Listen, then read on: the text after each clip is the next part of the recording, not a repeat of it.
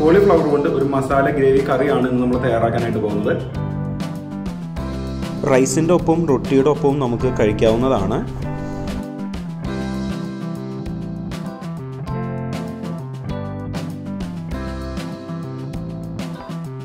തിളപ്പിക്കാൻ വേണ്ടി കുറച്ച് വെള്ളം എടുക്കുക. ഒരു ടീസ്പൂൺ മഞ്ഞൾപ്പൊടിയും അര ടീസ്പൂൺ ഉപ്പും ചേർത്ത് വേണം തിളപ്പിക്കാൻ. ഇതിലേക്ക് കോളിഫ്ലവർ ചേർക്കുക.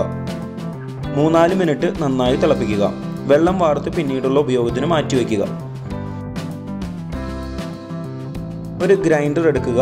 അതിലേക്ക് പത്ത് പന്ത്രണ്ട് ചുവന്നുള്ളി ഒരു ടീസ്പൂൺ കാശ്മീരി മുളക് പൊടി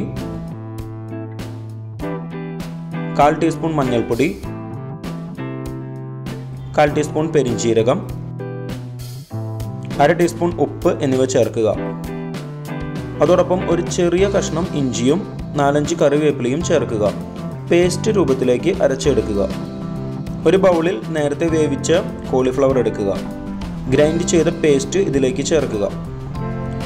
നന്നായി ഇളക്കി പിടിപ്പിക്കണം. പതിനഞ്ച് മുപ്പത് മിനിറ്റ് മാരിനേറ്റ് ചെയ്തു വയ്ക്കുക ഒരു പാനിൽ രണ്ട് ടേബിൾ സ്പൂൺ ഓയിൽ ചൂടാക്കുക. അതിലേക്ക് മാരിനേറ്റ് ചെയ്ത കോളിഫ്ലവർ ചേർക്കുക. മീഡിയം ഫ്ലെയിമിൽ ഫ്രൈ ചെയ്യുക. ആവശ്യാനുസരണം കോളിഫ്ലവർ ഒന്ന് ഇളക്കി മറിച്ചിടണം. കോളിഫ്ലവർ ഫ്രൈ ചെയ്തതിന് ശേഷം ഒരു ബൗളിലേക്ക് മാറ്റി വയ്ക്കുക. ഒരു പാൻ എടുത്ത് രണ്ട് ടേബിൾ സ്പൂൺ എണ്ണ ചൂടാക്കുക. അരിഞ്ഞു വെച്ച സവോള ഇതിലേക്ക് ചേർക്കുക. രണ്ട് പച്ചമുളക് നാലഞ്ച് കറിവേപ്പില കാൽ ടീസ്പൂൺ ഉപ്പ് അര ടീസ്പൂൺ മഞ്ഞൾപ്പൊടി മുക്കാൽ ടീസ്പൂൺ മല്ലിപ്പൊടി ഒരു ടേബിൾ സ്പൂൺ കാശ്മീരി മുളക് പൊടി അര ടീസ്പൂൺ ഗരം മസാലപ്പൊടി ചേർത്ത് നന്നായി ഇളക്കുക. മൂന്നാൽ മിനിറ്റ് ലോ ഫ്ലെയിമിൽ ചൂടാക്കുക. ഇനി അരിഞ്ഞു വെച്ച തക്കാളി ചേർത്ത് വഴറ്റിയെടുക്കുക. നൂറ്റമ്പത് എം എൽ വെള്ളം ചേർക്കുക. ചെറുതായി ഇളക്കിയതിന് ശേഷം മൂടി വെച്ച് മീഡിയം ഫ്ലെയിമിൽ രണ്ട് മൂന്ന് മിനിറ്റ് ചൂടാക്കുക. നേരത്തെ മാരിനേറ്റ് ചെയ്ത കോളിഫ്ലവർ ചേർത്ത് ഇളക്കുക. ഇതുവരെ നമ്മുടെ ചാനൽ സബ്സ്ക്രൈബ് ചെയ്തിട്ടില്ലെങ്കിൽ ഒന്ന് സബ്സ്ക്രൈബ് ചെയ്ത് സപ്പോർട്ട് ചെയ്യണം.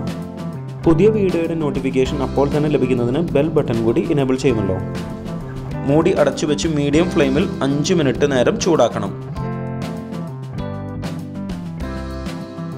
ഒരു ടേബിൾ സ്പൂൺ മല്ലിയില ചേർത്ത് ഒരു മിനിറ്റ് ചൂടാക്കുക. നമ്മുടെ കോളിഫ്ലവർ മസാല ഗ്രേവി റെഡി ആയിട്ടുണ്ട്.